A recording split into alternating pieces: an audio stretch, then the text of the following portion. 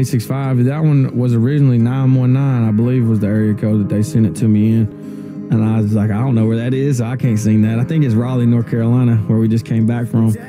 But um, Seth, actually, my manager, he he signed this young kid. Then this was like this was both of these guys' first first song that they ever got recorded by an artist, and I think they've gotten quite a bit more recorded now since since this happened. But um, yeah, man, I just I thought it was an interesting twist. You yeah, you you do have to maybe listen a couple times before before it really makes all sense it took me, you know, Seth was all in on the song. It took me a couple weeks, and I was like, okay, I do actually really like this.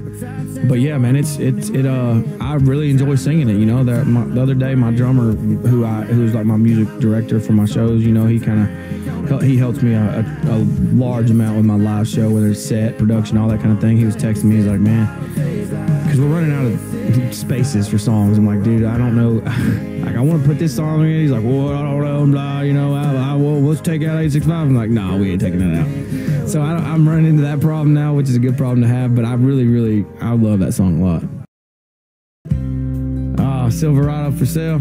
I actually got to give my cousin credit for me for cutting this one. I got a cousin, Andrew Green. We hang out all the time. Not as much now because I'm on the road and he actually has a job now, so we don't get to hang out as much. Whenever I was working on my album, you know, during quarantine and stuff, we'd spent every day together. We'd fish, golf, something, you know. We were always, if I wasn't in the studio, I was with him.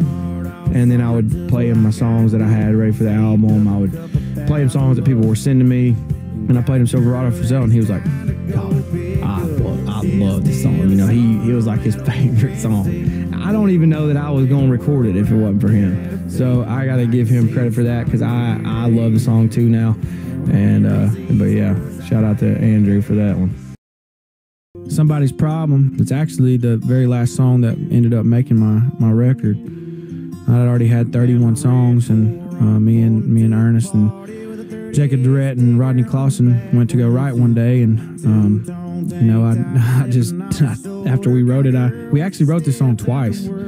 Um, the first time we wrote it, it was like a a more upbeat I don't even know how to describe it because I don't I don't remember that well because since we wrote it this way too. But it was a more upbeat, completely different song, and then we wrote it again as this version, obviously. And I'm I'm really glad we did because that's the one that stuck with us, obviously. But um, the story behind the song is me and Ernest were riding over there to where we were gonna go right, and I had I was I was driving and my truck was low on gas, and it was somewhere that we don't normally go. So I went to I had to go to a gas station I don't normally go to, and I don't know, it just seemed like all those things happened, and I, I got back on the highway and a, a, a, girl pulled in front of me going onto the interstate and, and uh, she was a pretty girl and, and I, I, said man i wonder who that is and ernest said looks like somebody's problem to me and i looked at him and uh, we just started laughing and we knew that, that we were going to write that song that day and uh, i don't know what her story is but this is the one she gets for now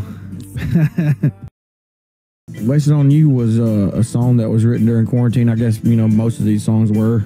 Some of them before and the rest during. But Wasted on You, um, man, I wrote it with Ern and Josh Thompson were in the room with me when we wrote it. Ryan, um, who also goes by Charlie Handsome, we always just call him Charlie.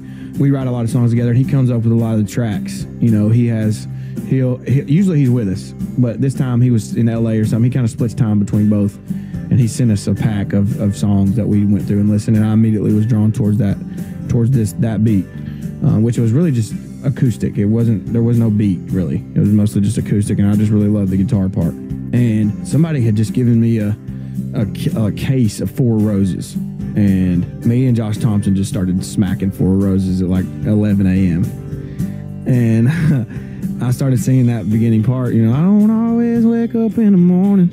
And um, a lot of songs in country music, especially, seems like the woman is always like the good guy in the song, you know. So I was like, let's do so. Let's not do that with this song. Let's let's you know. I mean, we've all been in experiences where the woman wasn't always the she wasn't always the good one. So let's be honest. So we kind of all just took from experiences that we had had with a girl that you know what maybe not the best.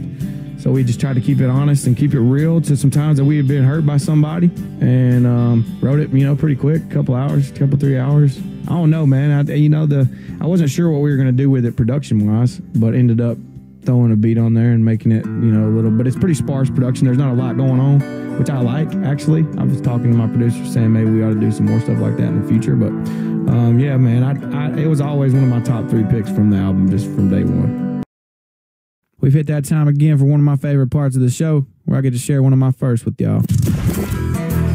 We all remember our first time, right? Oh. Country, Morgan Wallen is going to share one of his first time experiences. Today it's inspired by JD in Danvers, Massachusetts. He wrote into the show telling us that one of his favorite segments is when we talk about first cars. JD wanted to know what my first car was, if I still had it, what happened to it, or if I had any special memories with it. Yeah, my first car was a Jeep Grand Cherokee, a beater, really. It didn't last too long. I don't think I took good care of it, and I also took it off roading, even though I, th- I think I thought it was a Wrangler, and it definitely wasn't. It blew up, not not like actually exploded, but I wrecked the engine in that pretty quickly. Um, I think probably like a year, maybe maybe a little longer than that. You know, it got me from point A to B, and it was uh, I don't know. It looked I liked it. I, I definitely liked it. I should have taken better care of it, but I was 16 and an idiot, so whatever. I think you know when when your kid's first born, it takes a little bit of time. The first one, I'm sure, I only have one, so I don't I don't, I only know my experience. Um, it takes a little bit of time to kind of just even grasp it all, you know. So I was always really, it always really made me happy to to have him and and to to know that I had a kid and someone who looked up to me. But the older he gets, you know, the more I feel, you know, I see him becoming a person and see him just uh, becoming like me in ways. But I don't know, man. I'm just proud. It makes me proud as hell. I I, I uh I try to spend as much time as I can with him. You know, if I'm on, I don't really bring him on the road because he's, you know, he's just now about to be two years old. So um, I don't get to see him when I'm on the road. But basically, as soon as I land, as soon as the bus gets into town, I go pick him up and, you know, try to keep him until the day, the night before or the morning of when I'm leaving.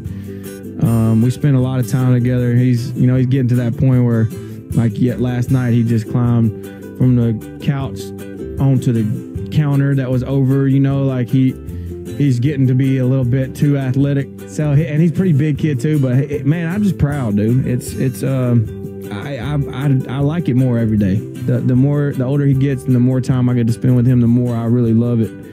Yeah, man. You know, I just want him to be. I hope he's as proud of me as I am of him. I know that. Yeah, spin you around, man. This is one of the first songs I ever wrote in my life. I don't even know what I was. I think I was like, I just woke up one day with that song in my head.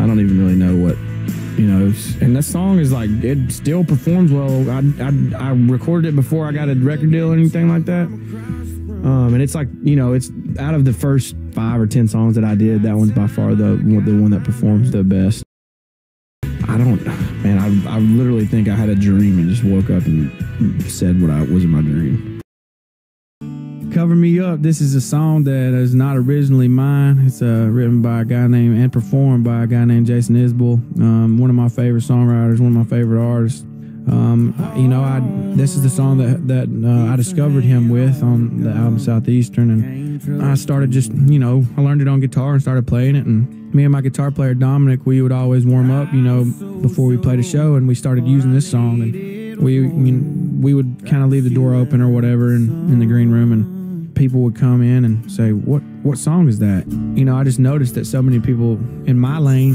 didn't really know this song, and I thought that was a shame. So we ended up deciding to to record a cover of it, and it's just one of my favorite songs of all time. And I'm I'm glad that I got to kind of bring it over to to my lane. Um, it's a it's a special song.